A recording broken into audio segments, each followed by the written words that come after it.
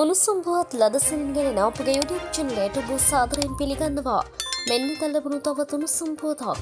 යාපනය මහනුවර ඒනයින් ප්‍රධාන මාර්ගයේ ඕමන්ත සිට කිරිනොච්චිතක්වාත් මුලතිවහි ප්‍රධාන මාර්ගයන්හි දවන වන බස්්‍රත කිසිවක් උදැසන කළේ පසල් සිසුදරුවන් ඇතුළත් නොකරගැනීමෙන් පාසල් දරුවන් දැඩි පිඩවන්ට පත්ව සිටිදී. ලංගම බස්රත මෙන්ම පෞද්ගලික බස්රතද උදැසන කාලයේ බස්රතවලට පාසල් සිසුන් සිටින බස් නැවතුම් පරවල් වලින් නොනමත්වා ධාවනය කිරීම හැතුවෙන් ඇතින් සිසුන් පාසල්ට යන විට උදැසන නමය වනව අවස්ථාද පවතින බවට පාසල් දරුවන්ගේ දෙමවපියන් මැසිවරිනකතිී.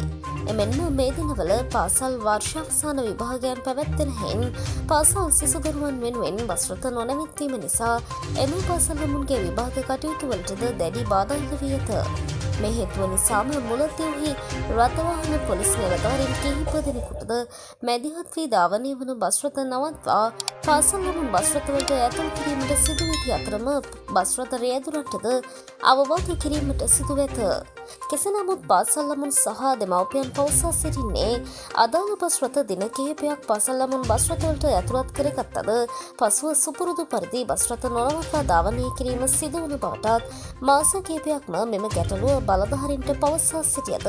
මෙවනතුරුත් විසඳුමක් නොලැකුණු බවත්ය. එසේම බස්වත සිසුදරුවන්ට නොනවැත්වීම හේතුවෙන් සිසුදරුවන් විශාල පිරිසක්ට පැය කීපයක් උදැසන කාලයේදී ඒ ගැනීම හිමි වන අතරම සවස් කාලයේදීද පැය දෙකක් හෝ තුනක් ප්‍රමාද වී නිවසට පැමිණීමට සිදු ඇති බවටත්ය.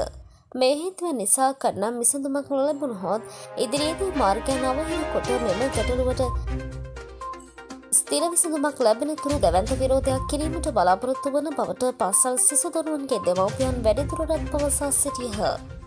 මෙවැනි සුම්පුවත් ලදසනින් දැන ගැනීමට අපගේ YouTube චැනලය සබස්ක්‍රයිබ් කර බෙල්ලයිකරීන් ක්‍රියාත්මක කරන්න.